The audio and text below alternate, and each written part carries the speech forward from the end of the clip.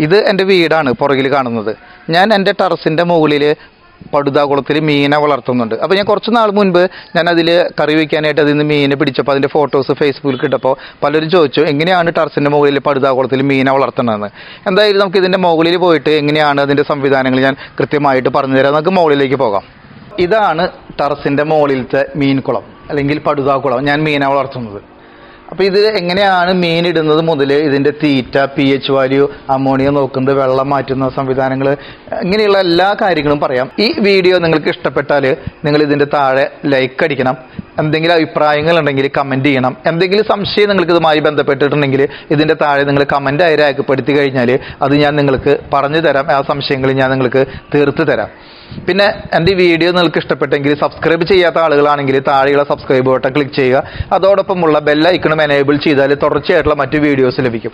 ഈ ടെറസിന്റെ മുകളിൽ മീൻ വളർത്തലല്ലാതെ വേറെ രണ്ട് സംവിധാനങ്ങളും കൂടി ഞാൻ നേരത്തെ പരിചയപ്പെടുത്തിയിരുന്നു. വിപുലമായ രീതിയിലുള്ള ഒരു പടുതാക്കളും ഇതുകൂടാതെ ഒരു ബയോഫ്ലോക്ക് സംവിധാനം. ഈ ബയോഫ്ലോക്കിന്റെ ഒരു പ്രത്യേകത എന്ന് പറയുന്നത് അഞ്ച് ആറോ സെന്റോ സ്ഥലത്ത് വലിയ ഒരു പടുതാക്കുളം വേണ്ടത് അര സെന്റിൽ നമുക്ക് ചെയ്യാനായിട്ട് പറ്റും. വേണമെങ്കിൽ അത് ടെറസിന്റെ മുകളിൽ വേണമെങ്കിൽ വരെ. ചെയ്യാൻ പറ്റും. ആ വീഡിയോയുടെ എല്ലാം ലിങ്കുകൾ ഇതിന്റെ താഴെയുള്ള ഡിസ്ക്രിപ്ഷൻ ബോക്സിലുണ്ട് അപ്പോൾ നിങ്ങൾക്ക് അത് കണ്ടിട്ട് അത് മനസ്സിലാക്കാം. എന്തായാലും നമുക്ക് ഈ വീഡിയോയിലേക്ക് നമുക്ക് പോകാം. ഇതിന്റെ മറ്റു വിശദാംശങ്ങൾ ഞാൻ പറഞ്ഞുതരാം.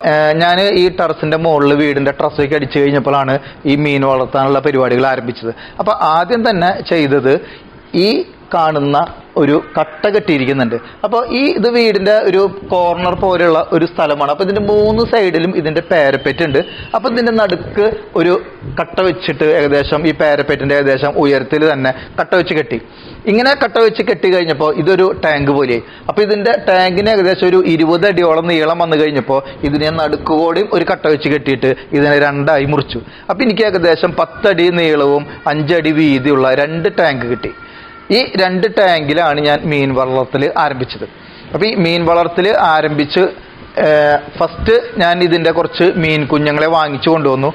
അപ്പോൾ ഞാൻ ഏറ്റവും ചെറിയ പൊടിക്കുഞ്ഞുങ്ങൾ വാങ്ങിച്ചില്ലേ? കുറച്ചും കൂടി വലുപ്പമുള്ള മീനുകളെയാണ് വാങ്ങിച്ചത്.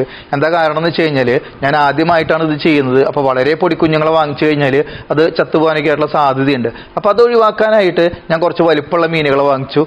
അപ്പോൾ അതുകൊണ്ട് തന്നെ എനിക്ക് കാര്യമായിട്ട് മീനുകൾ വളർത്താനായിട്ട് അങ്ങനെ ഒരു ബുദ്ധിമുട്ടുണ്ടായില്ല. കുഞ്ഞുങ്ങളാകുമ്പോൾ ചത്തുപോകും. മീനെ വാങ്ങിച്ചു കൊണ്ടുവന്നു. മീനെ വാങ്ങിച്ചു കൊണ്ടുവരുന്നതിനേക്കാൾ മുൻപ് ഇതിന്റെ ഈ കുളം തയ്യാറാക്കുക എന്നുള്ളതാണ്. കെട്ടി കഴിഞ്ഞ് കഴിഞ്ഞപ്പോൾ ഞാൻ ഇതിന്റെ അരുഭാഗത്തു നിന്ന് വേറെ പ്രശ്നങ്ങളൊന്നും ഉണ്ടാവാതിരിക്കാനായിട്ട് ഈ പച്ച കളറിലുള്ള ഒരു നെറ്റ് ആദ്യം താഴെ വിരിച്ചു കൊടുത്തു. അത് വിരിച്ചതിന് ശേഷം ഇരുന്നൂറ് ജി എസ് എം ഉള്ള പടുത അല്ലെങ്കിൽ ടാർപോളി എന്ന് പറയും സിൽപോളിംഗ് കമ്പനിയുടെ നല്ല ബ്രാൻഡഡ് കമ്പനിയുടെ തന്നെ. മിനിമം ഇരുന്നൂറ് ജി എസ് എമ്മെങ്കിലും വേണം. അത് അത്യാവശ്യം നല്ല കട്ടിയുണ്ടായിരിക്കും. ഇത് ഈ ടാങ്കിൽ ഇറക്കി വയ്ക്കുകയാണ് ആദ്യം ചെയ്തത്. അത് വെക്കുന്നത് എന്തിനാണെങ്കിൽ നമ്മൾ ഇതിന്റെ ഉള്ളിൽ വെള്ളം നിർത്തി കഴിഞ്ഞാൽ ഈ വെള്ളം ടെറസിന്റെ സിമെന്റിനെയും മറ്റുള്ള ഭാഗങ്ങൾക്കും പിന്നീട് പ്രശ്നങ്ങൾ ഉണ്ടാവാനായിട്ട് സാധ്യതയുണ്ട്. ഇത് ഒഴിവാക്കുന്നതിന് വേണ്ടിയിട്ടാണ് ഞാൻ ഇങ്ങനെ ഒരു ടാർപ്പായ ഇതിന്റെ ഉള്ളിൽ ഇറക്കി വെച്ചത്. അപ്പോൾ ഈ വെള്ളം നിൽക്കുന്നതെല്ലാം ഈ ടാർപ്പായയുടെ ഉള്ളിൽ ഈ പടുതയുടെ ഉള്ളിലാണ് വെള്ളം നിൽക്കുന്നത്. അപ്പോൾ അതുകൊണ്ട് തന്നെ നമുക്ക് വേറെ കംപ്ലൈന്റ് ഒന്നും ഈ ടെറസിന് ഉണ്ടാവില്ല. എപ്പോഴും പലരും ചോദിക്കുന്ന ഒരു സംശയം എന്ന് പറയുന്നത് നമ്മൾ ഇതേപോലെ ഒരു മീൻ വളർത്താൻ ശ്രമിക്കുമ്പോൾ അത് ടെറസിന് കംപ്ലൈന്റ് ഉണ്ടാവില്ലേ എന്നുള്ളൊരു സംശയമാണ്. പക്ഷെ ഇതേപോലെ വെള്ളം നിൽക്കുന്നത് ഒരിക്കലും ടെറസിലിന്റെ മുകളിലുള്ള ടാർപ്പായിലാണ്. ഇതുമായി ഇതിന്റെ സിമെന്റിന് യാതൊരു ബന്ധവുമില്ല. അതുകൊണ്ട് യാതൊരു പ്രശ്നവുമില്ല എന്നുള്ളത് ആദ്യമേ പറയട്ടെ. അങ്ങനെ ഞാൻ ഈ മീനെ വാങ്ങിച്ചു കൊണ്ടുവന്നു. മീനെ വാങ്ങിച്ചു കൊണ്ടുവന്ന് നമ്മൾ ഈ മീനെ കുളത്തിൽ നിക്ഷേപിക്കുന്ന സമയത്ത് നമ്മൾ രണ്ട് കാര്യങ്ങൾ നമ്മൾ ശ്രദ്ധിക്കണം. ഒന്ന് ഈ മീന് ആവശ്യമായിട്ടുള്ള പി എച്ച് ഈ പി എച്ച് കറക്റ്റ് ആയതിന് ശേഷം മാത്രമാണ് നമ്മൾ ഇതിൽ മീൻ ഇടാനായിട്ട് പാടുള്ളൂ. അപ്പോൾ പി എച്ച് നമുക്ക് എങ്ങനെ അറിയാം എന്നുള്ളൊരു സംശയം നിങ്ങൾക്ക് ഉണ്ടാവും ഈ പി എച്ച് ടെസ്റ്റ് ചെയ്യാനുള്ള ഒരു ലിക്വിഡ് കിട്ടും. അപ്പോൾ അത് പി എച്ചും അമോണിയും ടെസ്റ്റ് ചെയ്യുന്നതിനെ കുറിച്ചിട്ടുള്ള ഒരു വിശദമായിട്ടുള്ള വീഡിയോ മുൻപ് ചെയ്തിട്ടുണ്ട്.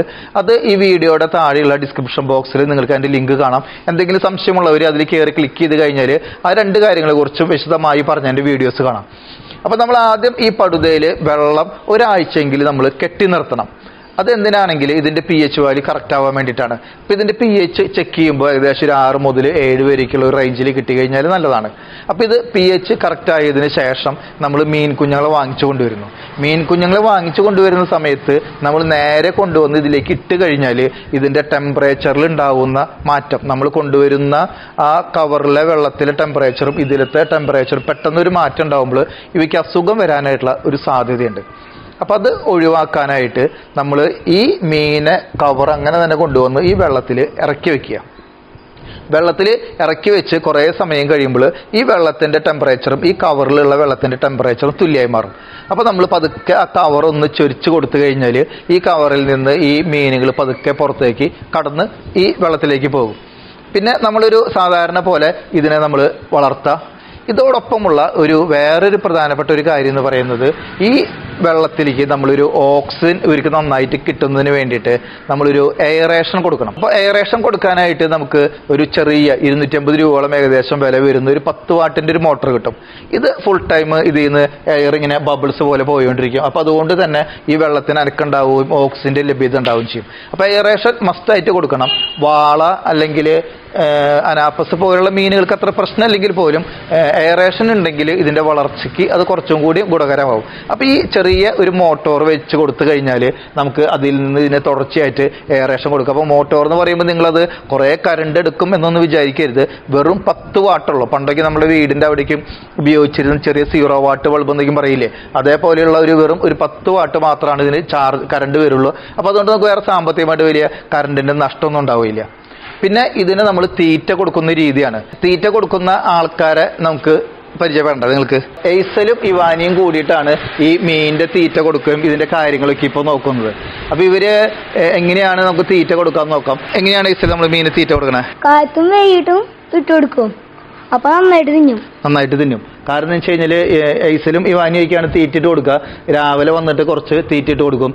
പിന്നെ ഉച്ചയ്ക്ക് ശേഷം ഇവരുടെ ഒരു നാല് മണിക്കാകുമ്പോൾ തീറ്റിട്ട് കൊടുക്കുക രണ്ട് നേരമാണ് പ്രധാനമായിട്ട് കൊടുക്കുന്നത്. കുറച്ച് ദിവസം മുൻപ് ഇതിൽ നിന്ന് കുറച്ച് മീനെ പിടിച്ചിട്ട് ഞങ്ങൾ വറുത്തു. ഇല്ലേ ഇവാനിയെ? എന്തുണ്ടായത് കൊച്ചു കൊച്ചു മീനുകൾ ഞങ്ങൾ ഇത് കിട്ടുണ്ടായിരുന്നു അത് വലുതായപ്പോൾ ഞങ്ങൾ അതിനെ പിടിച്ചിരുന്നു. കണ്ട ഞങ്ങൾ ഇതിൽ ചെറിയ കുറച്ച് മീനെ കൊണ്ടിട്ടിട്ടാണ് ഞങ്ങൾ അതിന് വലുതായപ്പോൾ പിടിച്ചു തിന്നത്. അപ്പൊ ഇവർ ഇതിൽ മീനിന്റെ തീറ്റ ഇട്ട് കൊടുക്കും.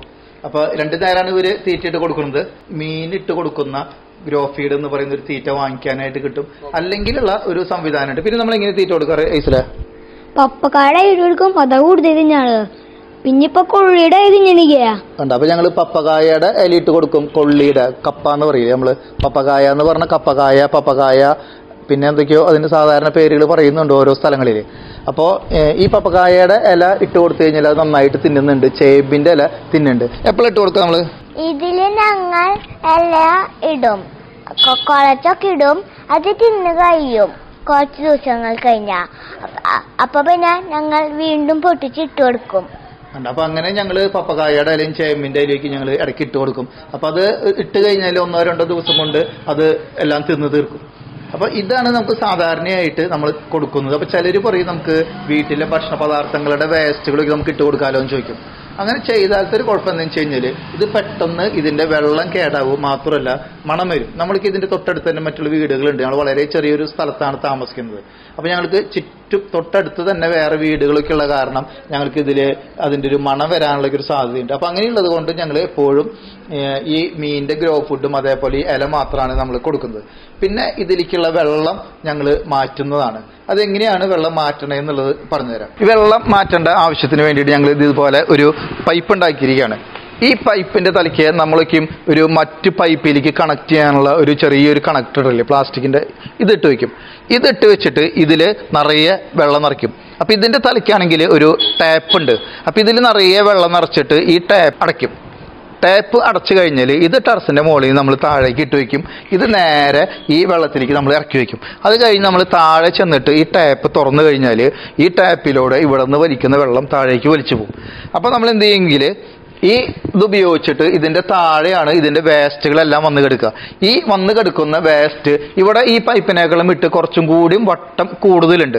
അപ്പൊ അങ്ങനെ വട്ടം കൂടുതൽ ഉള്ള കാരണം ഈ വേസ്റ്റുകളെല്ലാം ഇതിലൂടെ വലിച്ച് പുറത്തേക്ക് പോകും. അപ്പൊ നമ്മൾ ഇതൊരു പടുതാക്കുളം ഒരു സാധാരണ സ്ഥലത്ത് കുഴിയിലാണെങ്കിൽ ആ കുഴിയിൽ നമുക്ക് വെള്ളം വലിച്ചെടുക്കണമെങ്കിൽ നമുക്കൊരു മോട്ടോറിന്റെ ഒരു സഹായം ആവശ്യമാണ്. പക്ഷെ ഇതിനെ സംബന്ധിച്ച് അങ്ങനെയൊന്നും വേണ്ട. നമ്മൾ ഈ പൈപ്പിൽ നിറയെ വെള്ളം നിറയ്ക്കുക. പൈപ്പിൽ വെള്ളം നിറച്ച് കഴിഞ്ഞാൽ ആ ടാപ്പ് അടയ്ക്കുക here. ഇത് താഴെ വെക്കുക ടാപ്പ് തുറക്കുക. വളരെ സിമ്പിളായിട്ട് നമുക്ക് ഇതിന്റെ വെള്ളം മാറ്റാനായിട്ട് സാധിക്കും. താഴെ പടുത കുളത്തിൽ ഇതേപോലെ നമ്മൾ മീനെ വളർത്തുന്ന സമയത്ത് ഉണ്ടാകുന്ന ഏറ്റവും വലിയൊരു പ്രശ്നം മോട്ടോർ വെച്ചിട്ടാണ് അതിന്റെ വേസ്റ്റേക്ക് നമുക്ക് വലിച്ചു കളയാനായിട്ട് സാധിക്കുക. ഈ വെള്ളം ഇങ്ങനെ കെട്ടി നിന്ന് കുറേ കഴിയുമ്പോൾ ഈ മീനിന്റെ വേസ്റ്റും കാഷ്ടം എല്ലാം വന്നിട്ട് ഇതിനൊരു ബ്രൗൺ ഏകദേശം ഒരു കറുപ്പ് നിറത്തിലേക്ക് ഈ വെള്ളം മാറും. അങ്ങനെ വരുന്ന സമയത്ത് ഈ മീൻ തീറ്റ എടുക്കില്ല നമ്മൾ തീറ്റ ഇട്ട് കൊടുത്തു കഴിഞ്ഞാലും ഇത് തീറ്റ എടുക്കാതെ ഈ വെള്ളത്തിന്റെ മുകളിൽ വന്ന് ഇങ്ങനെ നിൽക്കും. അങ്ങനെ വന്നു കഴിഞ്ഞാൽ അപ്പോൾ നമ്മൾ വെള്ളം മാറ്റണം. ഈ വെള്ളത്തിൽ അമോണിയയുടെ അളവ് കൂടുതൽ വരുമ്പോഴൊക്കെയാണ് അങ്ങനെ വരിക. അപ്പോൾ നമ്മൾ ഈ വെള്ളത്തിന്റെ മുഴുവനും മാറ്റേണ്ട ഒരു കാൽ ഭാഗം വെള്ളം നിർത്തി ബാക്കി എല്ലാം വെള്ളം അടിച്ചു കളയുക. അടുത്ത വെള്ളം നമുക്ക് നിറയ്ക്കുക. വെള്ളം നിറയ്ക്കാതെ കൊണ്ടുപോകാനുള്ള വേറെ ചില സംവിധാനങ്ങൾ വേറെ രീതിയിലുള്ള മീൻ വളർത്തലൊക്കെ ഉണ്ട് ബയോഫ്ലോക്സ് പോലത്തെ സാധനങ്ങളിലൊന്നും വെള്ളം മാറ്റേണ്ട ആവശ്യമില്ല. അപ്പോൾ ഈ ബയോഫ്ലോക്ക് പോലുള്ള രീതി നമുക്ക് ടെറസിന്റെ മുകളിൽ ചെയ്യാം. അത് എങ്ങനെയാണെന്ന് നിങ്ങൾക്ക് ഇതിനെക്കുറിച്ച് അറിയണമെന്നുണ്ടെങ്കിൽ ഇതിന്റെ ഡിസ്ക്രിപ്ഷനിൽ ഞാനൊരു ബയോഫ്ലോക്കിന്റെ ഒരു വീഡിയോ ചെയ്തിട്ടുണ്ട്. അത് ഒരുപാട് പേര് കണ്ടിട്ടുള്ള ഒരു വീഡിയോ ആണ്. അപ്പോൾ അത് കണ്ടു കഴിഞ്ഞാൽ നിങ്ങൾക്ക് ബയോഫ്ലോക്ക് സംവിധാനം അറിയാം. ഈ ബയോഫ്ലോക്കും നമുക്ക് നേരത്തെ പറഞ്ഞതുപോലെ തന്നെ ടെറസിന്റെ മുകളിൽ നമുക്കിത് വളർത്താനായിട്ട് സാധിക്കുന്ന ഒരു സംവിധാനമാണ്. അക്വഫോണിക്സ് ഉണ്ട്. അങ്ങനെ വിവിധ തരത്തിലുള്ള മീൻ വളർത്തൽ രീതികളുണ്ട്. പൊതുവിൽ എല്ലാവരും ചെയ്യുന്ന ഒരു രീതി എന്ന് പറയുന്നത് ഈ പടുതാകുളത്തിൽ വളർത്തലാണ്. അപ്പോൾ ഇത് ഇത്രയൊക്കെയാണ് നമ്മളുടെ ഈ മീൻ വളർത്തലിന്റെ വിശേഷങ്ങൾ.